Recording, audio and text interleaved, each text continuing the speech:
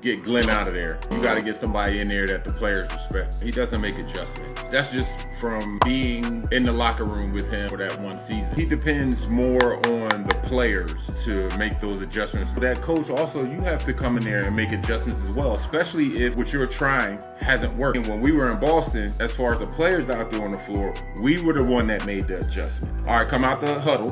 Right before we get on the floor, we huddle up. Man, I finally get why your wife almost left you, man. You don't know how to make in-game adjustments. you don't know how to make in-game adjustments. When the NBA released their top 15 coaches of all time, Doc Rivers was one of the guys on the list. But if you've seen how the media, or the fans, or even former players who played under him talk about him, you would think he was one of the worst coaches in the NBA. The truth is always somewhere in the middle. But you can't ignore the vast amount of slander towards Doc, and you can't ignore his lack of playoff success. He's been resting on his laurels from that 2008 championship, and even with that stacked Celtics roster, his team didn't win a single road game in the playoffs until the Eastern Conference Finals. They got pushed to 7 games in the first two rounds by teams that were clearly inferior to them. So, was that even an impressive run to begin with? Anyway, how's going folks? My name's Andy, and today we're gonna take a look at something different. Let's take a detailed dive into Doc Rivers' coaching career, his shortcomings, and what his former players have said about him, and if his negative perception is justified. Without further ado, let's begin. In 1999, a few years after his retirement, Glenn Anton Rivers became head coach of a young Orlando Magic team. This team just started rebuilding in the post Penny Hardaway era, and as a first year head coach, Rivers shocked everybody. This Magic team was projected to win fewer than 20 games, yet he led them to a respectable 41 and 41 record, and almost made the playoffs. This earned him the 2000 Coach of the Year award, becoming one of a small handful of coaches to win it in their first ever season as head coach. Due to his connections across the NBA and as a recently retired player, he had a level of influence that most coaches could only dream of. In that same summer he won Coach of the Year, he had the ambitions to create a Big Three. And he was talking to a few star players in the offseason. The Big Three he had in mind was supposed to consist of Tracy McGrady, Grant Hill, and Tim Duncan, all of whom were free agents. While the Magic did sign T-Mac and Hill, Duncan almost came to Orlando too. Grant Hill confirmed that Doc met with Tim Duncan and he was on the brink of convincing him to come to Orlando.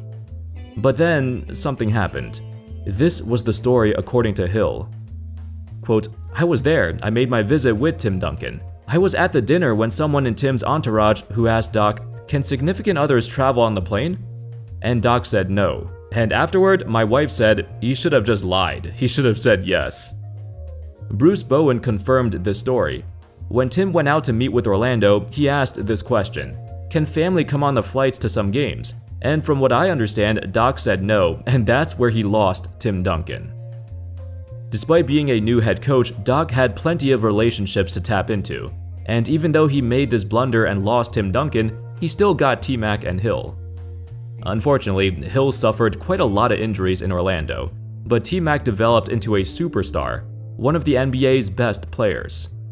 Let's fast forward a bit. While they had some decent seasons together, the team struggled to get past the first round. In the 2003 playoffs, the Magic, as an 8 seed, had a 3-1 series lead over the Detroit Pistons. A lead that they would ultimately blow, as it would be the first of three times a Doc Rivers coached team has blew a 3-1 lead. At this point, he was still perceived as a great coach though. Just to go up 3-1 against the 1 seed is an accomplishment in itself. Honestly, it was more so cause T-Mac was just going off. The strategy of the early 2000s was to basically throw the ball to your superstar and let him ISO, and it wasn't a bad plan back then. It's not like he had much help either. However, in the following season, the Magic started with a 1-10 record, and Doc got fired. Now, one thing that's surprising about Doc's coaching career is that he hasn't had any breaks at all. Whenever he gets fired or he resigns, he almost immediately gets a new job in the season after. In 24 straight seasons, from 2000 to 2023, He's coached in every single season with no breaks. I mean, no matter how you look at that, it's very impressive. Just the longevity and the continuity, you know, that's very rare. In spite of Doc's track record, he's got the connections, and even though some players dislike him and all his faults as a coach, other coaches and his peers respect him. You know, it's kinda like the guy at every workplace who, you know, he might not have all the skills, but he's charismatic. He gets along with his bosses, so he might get a promotion before someone who's better at their job does. Is that a good example? I don't know. Anyway, ever since he started his coaching career, he's had this aura about him that makes people want to get along with him, that makes people gravitate towards him. And I don't blame him either. You gotta take every advantage you can get, and he knows to talk to the right people. One positive thing that former players have said is that Doc is a player's coach. So what does that mean? It means he has your back and will support you in not just basketball, but in life as well. That's a quality that's hard to find in a coach, even though, well, we have seen him throw some players under the bus. So, the season after he got fired in Orlando, Doc made his way to Boston.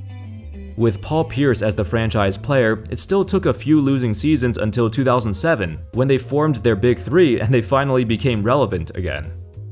Like I mentioned at the beginning of the video, this Celtics squad won 66 games and was far and away the best team in the NBA. So to see them struggle so much in the first couple rounds in the playoffs, that's strictly a coaching issue, or in this case, a lack of coaching.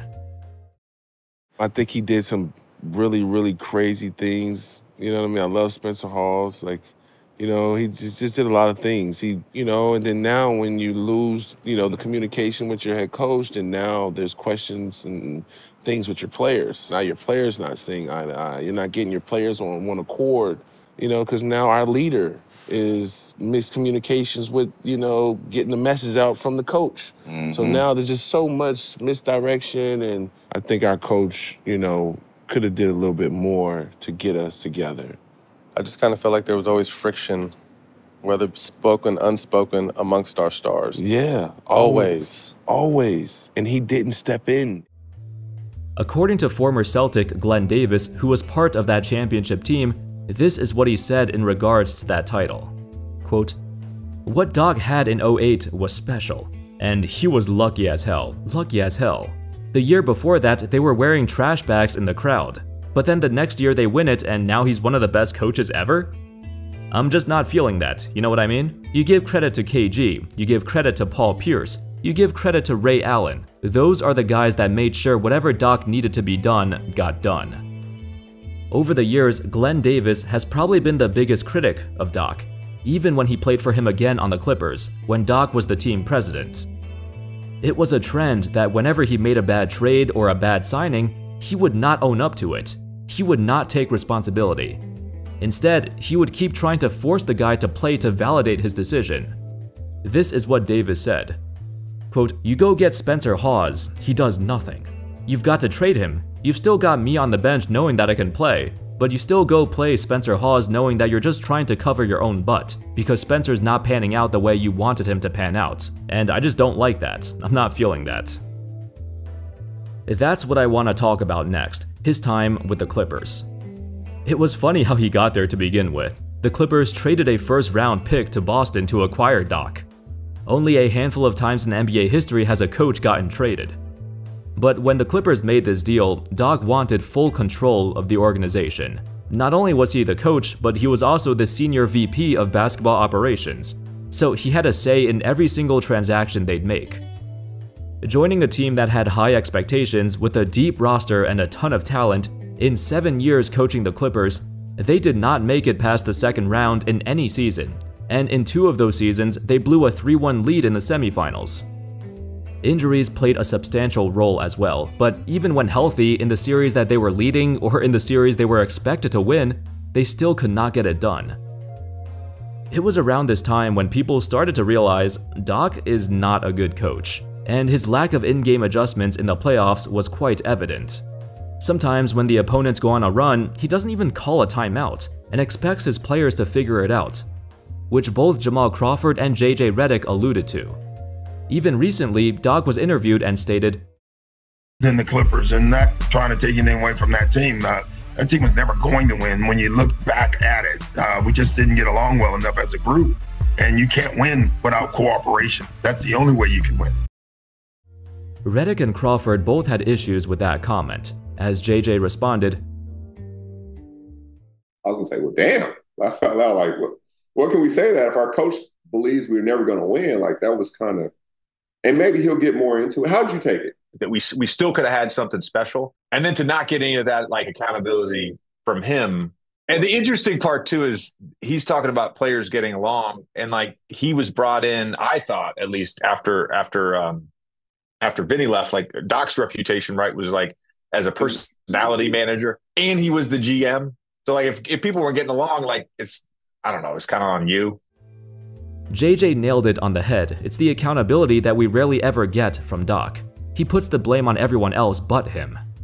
Even with that incredibly talented Clippers team, who was poised to win the NBA championship that year, they blew a 3-1 lead in another series they were favored to win, and then Doc left. However, that doesn't stop him from getting hired over and over again. On September 28, 2020, he stepped down as the Clippers head coach. Just five days later, on October 3rd, the Philadelphia 76ers announced they hired him as their new head coach. There were rumors prior to that of Doc talking to other teams when he was still coaching the Clippers, which is taboo in the coaching world. You're not supposed to do that and almost immediately, this hiring was met with groans from the Sixers fandom.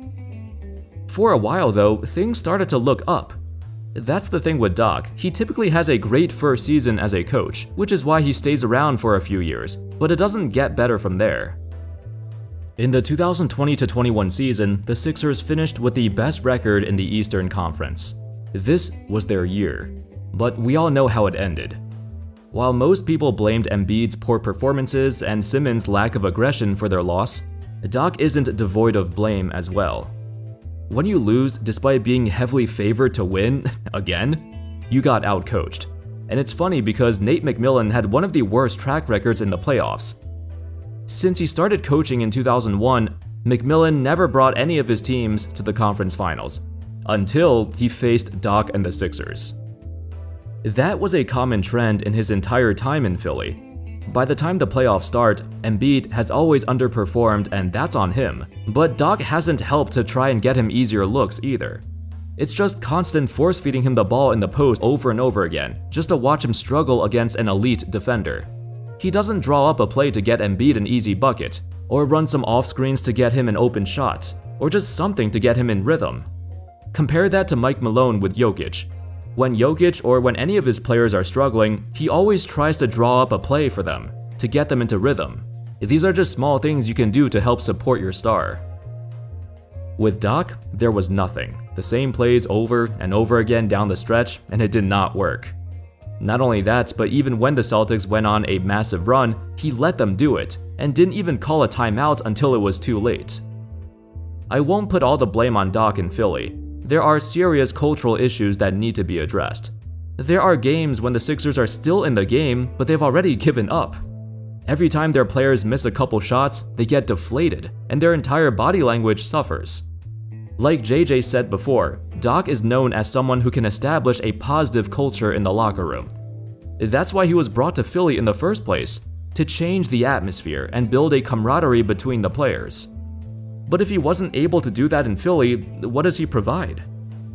After that Game 7 loss, Doc fell to just 6 and 10 all time in Game 7s, and he lost his last 5 Game 7s. In fact, it's been over a decade since Doc made it past the second round.